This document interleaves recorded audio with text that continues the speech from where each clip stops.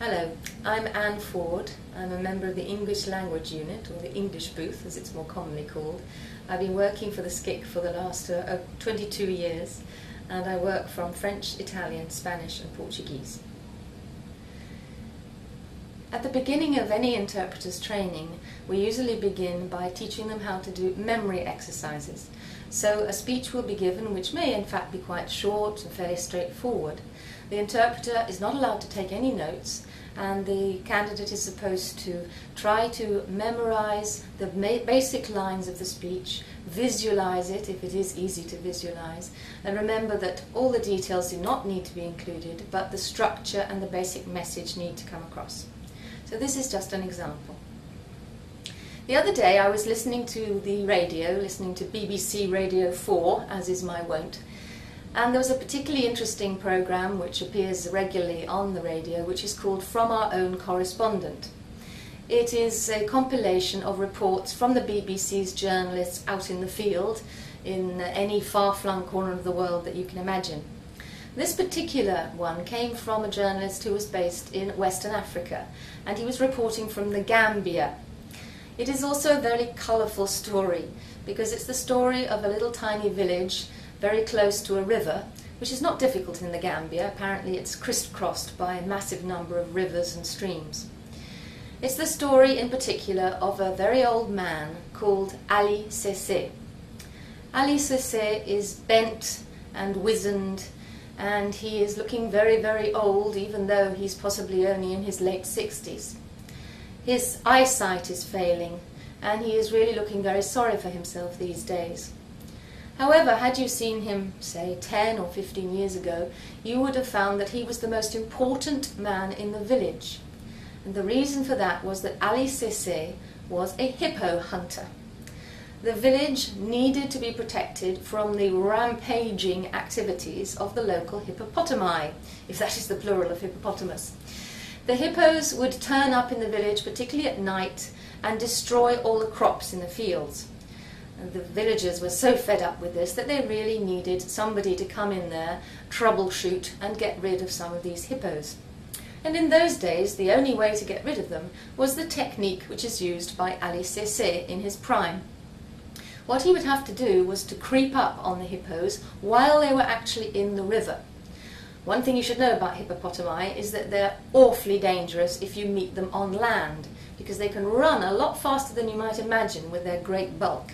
And if you do meet them on land, you have to climb up a tree as fast as possible, because, by the same token, you must realize that hippos cannot climb trees. But you're in big trouble if you meet one, I can assure you. Not that I have any personal experience. Anyway, Ali Sese would have to creep up on the hippopotamus while they were actually bathing in the river, bathing in the mud or whatever they do. And he would then raise to his shoulder a massive old shotgun and shoot the hippopotamus he was trying to kill. If he managed to hit the target, and it can't be that difficult since they're fairly large, the hippo would, of course, die. So, what do you do then? You have an animal which possibly weighs several tons how on earth do you get that animal back to land? Because there's no point in just killing them. Ali Sese made his living out of selling the products which can be obtained from hippopotamus skin or flesh. I can't actually remember whether people eat hippopotamus, but I have a feeling they probably do. So, how on earth was he going to get the hippo back to land? Well, this is where the story gets a little bit unpleasant, I'm afraid. He had to wait. He had to wait until the body, which had sunk to the bottom of the river, began to decompose. The body of the hippo decomposes and fills with gas. So, two or three weeks later, perhaps, I'm not entirely sure of the figures, the hippo's body would slowly and gracefully float to the surface. And because it is much lighter than it was before, perhaps, it's possible to drag it from the middle of the river to the river bank. So Ali Sese used to make his living this way. And uh, you can imagine that he's a very sad and uh, defeated old man now because he's just not capable of doing the job. Even with a target the size of a hippopotamus, his eyes are just too weak and his vision too blurred to be able to do the job. He has lost the respect of his fellow villagers and he will probably die a very sad and lonely man. So it's a very sad story, And you may think the villagers are very sorry to have lost Ali The fact is that no young person wants to take on the job. There are no young people who think it's a nice idea to just hide in the bushes and shoot hippopotamuses all day. It's an unpleasant job anyway, having to dispose of the, the corpse afterwards. So, like many jobs uh, all over the world, it's something nobody wants to dirty their hands with. Luckily for the villagers, however, they are being saved not by young up and coming hippo hunters, but by the European Union. The European Union gives development aid to countries all over the world, including in particular the African, Caribbean, and Pacific countries.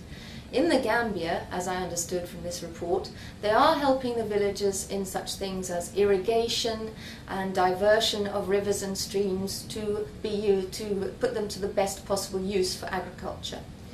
As a part of this project, in some areas of the Gambia, they're actually drying out areas to make it more possible for villagers to grow their crops. And if you dry up the rivers and you divert them, the hippopotamuses will have to follow wherever they go. And so in Ali Sese's village, they are perhaps fortunate because the hippopotamuses have had to pack their bags and move on to the next river. Thank you very much.